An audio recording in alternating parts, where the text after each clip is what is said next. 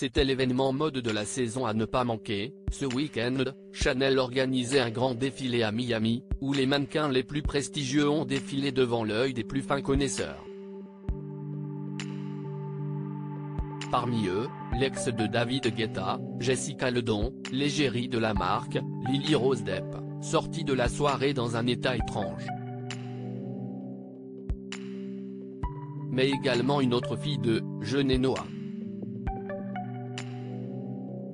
À 25 ans, la fille cadette de Yannick Noah, il a également quatre autres enfants, Joachim 37 ans, Yelena, 36 ans, Elijah, 26 ans, et Joa Luca, 18 ans, s'impose définitivement, avec ce nouvel événement, comme l'un des visages forts de la mode et était particulièrement sublime dans un tailleur symbolique de la maison de couture, les cheveux noués en un chignon serré.